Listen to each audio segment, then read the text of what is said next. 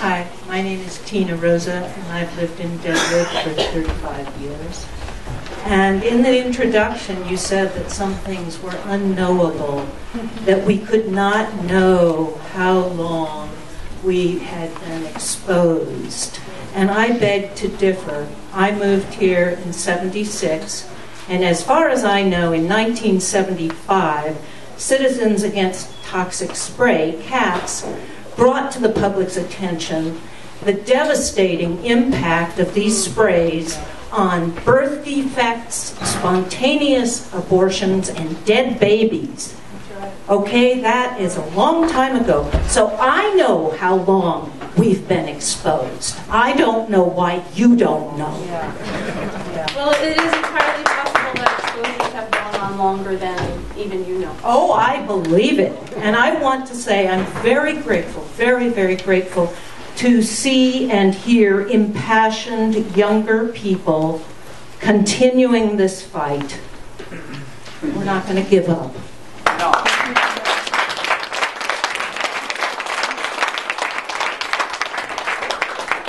Hi again. Okay, so if it's determined that the test results show uh, chronic exposure above an acceptable level, which you've already explained, uh, could be done. Um, but as you explained in your PowerPoint, health effects are unknowable from this type of chronic exposure. What specific action, if any, does each agency have the power to take? So I'd just like to hear what each agency can do, if anything, if we end up with positive results from this study. Well, I can speak, I'll, I'll start for health and then we'll kind of move on from there.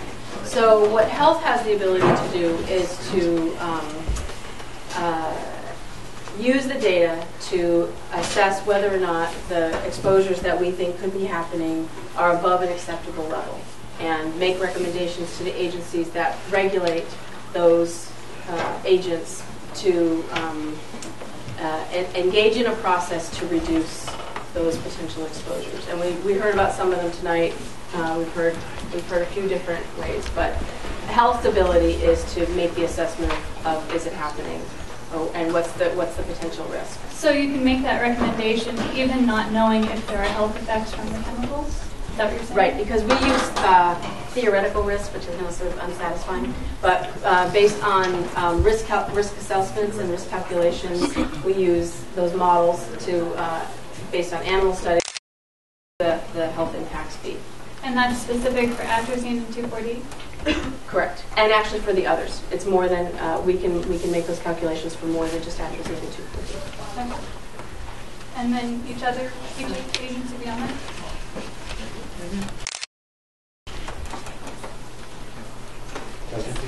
Um, I talked about that already, uh, you know, get information from the field, we're kind of the eyes and ears of EPA headquarters for pesticide regulation. If we get incident information, exploiting information, that gets fed back into uh, evaluation of that chemical, is it um, impacts that intended, and uh, if so, then there are measures I can take Can't hear you.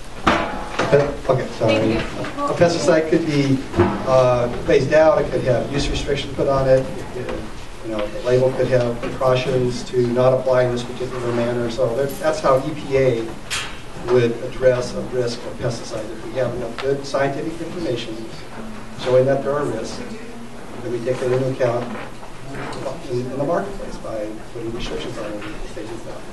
But do you think that, I'm talking about this specific study, but do you think that that could happen from this specific study with 40 families, that, or 36 people, actually?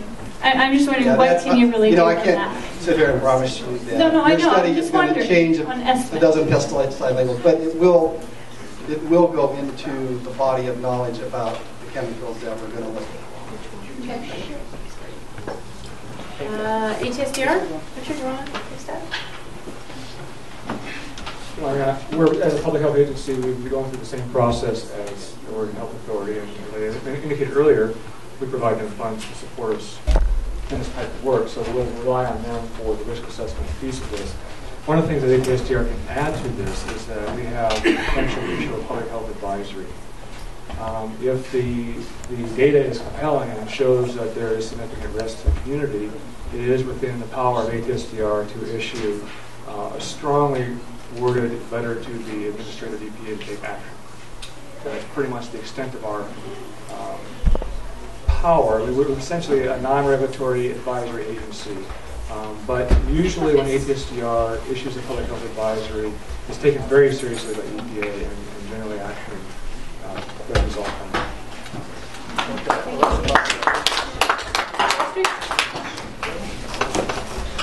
Well, he's, he's got the. I got the mic. Yeah. Uh, You are not going to be satisfied with this answer. Um, I do not have any authority to take action in regards to public health. Um, I have authority to take action to protect public resources. There is a nexus for public health, because I have to protect water, drinking water, and DEQ's clean water standards. So I have to meet OHA's drinking water standards, and I have to meet um, DEQ's uh, clean water standards. That's where my authority stops. And so I know that's been frustrating with the group coming to the Board of Forestry, because they've been asking the Board of Forestry to react to public health advisory things. And that's done through the EPA as the primary agency for regulating public health and ODA's pesticide regulation. So um, we will listen to whatever changes come and implement those changes by the agencies that have the authority to do that. Are those all the agencies represented? Uh, agriculture hasn't spoken yet. From agriculture standpoint, the information, and I'm speaking specifically in regards to the Pesticide Analytical Response Center, that is a board that can make recommendations for change based on the findings of information such as this study.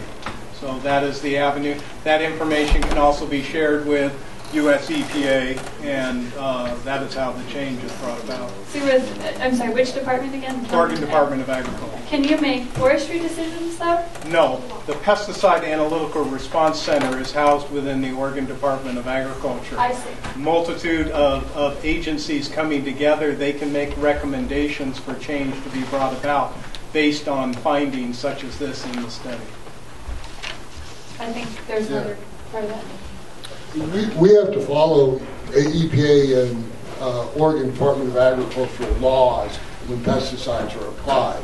So if there's any change in the pesticide laws, if a pesticide's banned, it automatically applies to forestry. So if uh, atrazine was banned, it would no longer be used in forest by, that, that's what gives the authority to use it in forestry. So it isn't that ODA would make a forestry law, they'd make a pesticide law, and then we would enforce that on forest land. Is that clear? Yes. Yeah, okay, good. Okay, so basically the person who has, or the agency that has to make the decision is the EPA then for anything to really happen from this, is that correct? And would that be an Oregon division of the EPA or a state division, or sorry, or a federal division? On a national level, US EPA would be making decisions. The Pesticide Analytical Response Center can mm-hmm. make a recommendation for changes uh, within pesticide regulation within the state of Oregon. Mhm. Okay, but so if that recommendation is made, I'm sorry, I just want to see Okay. how something could potentially come of this should there be chronic unacceptable levels found of these compounds. So if something were to happen and the, uh, how's it go, PACT or whatever? Park, Park uh, was, uh, made a recommendation that these chemicals, let's say, should, that the application method should change. Let's say, use that as an example. So then that recommendation would made, and what chain would that have to go through to actually get something to happen? My, my understanding is that federal law is, applies as a baseline, and my understanding, and please correct me if I'm wrong, my understanding is that federal law applies as a baseline, and states can enact further laws that are more restrictive. More protective. So I guess there are two avenues, really. Um, Okay. Thank you very Well much. said, Sujan. Okay. Uh, Greg, do you want, oh, sorry. Think- Yeah, thank you. Something that, One more? well, you know, my answer is probably not going to be satisfactory either. I think the important thing to understand is it's not whether pesticides are detected or not, whether they be in urine or in water, because we're going to detect them. When I started in this business, we were looking for things in the part per million range. Now we're looking for things in the part per trillion range. As we've lowered the detection limits down to these really small levels, we're finding a lot more stuff in a lot more places. And eventually, we'll get to the point where we can find just about everything in just about anything. So really the question is, has there been some kind of an established threshold exceeded? That's going to be the real question. Mm-hmm. And that's the most difficult part of this assessment. It's not whether or not there's some kind of exposure occurring, but what does that exposure mean? Mm-hmm. And we need to have criteria or benchmarks or some kind of a guidance number upon which to go there. So for DEQ, for example, we establish water quality standards. So if our water quality standards for either surface water or groundwater were exceeded in, by these concentrations, then there was a number of things that would be implemented as a result of that water quality exceedance. But simply finding these, pre- these compounds in the water would not necessarily by itself trigger a regulatory response. What if you found them in the air? Even less authority is there for air. We don't really have uh, air toxic standards for most things. We have some uh, air toxics benchmarks, which are not regulatory guidelines. So it would be a, it would be a more difficult thing. In that particular case, I would say it would really be the health risk that would drive any kind of a follow-up action. And so then, if these are only found in people's urine, for example, and uh, and because you don't know if you're going to be able to do the air study or not, and whether or not that will happen, at least that's what I've heard so far. If they're only found in people's urine, what is the likelihood that, or what likely thing is going to happen if they're above what uh, the 95th percentile and the, the kind of estimated so-called safe level. It- Would that be determined as a so-called safe level, the 95th percentile that was mentioned earlier? Or can you really make a health recommendation for something that you've already explained has unknowable health risks?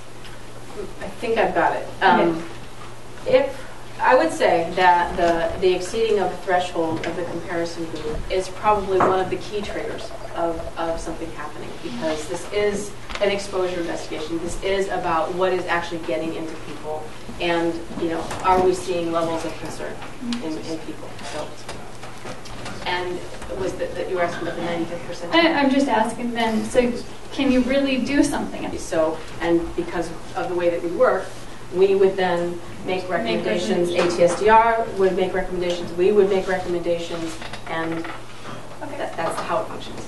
Well, thank you for explaining that. I'm not trying to pick you guys apart. We're all just trying to figure out what the correct line of, um, you know, taking this is. So, thank you. No, thank you. Thank you.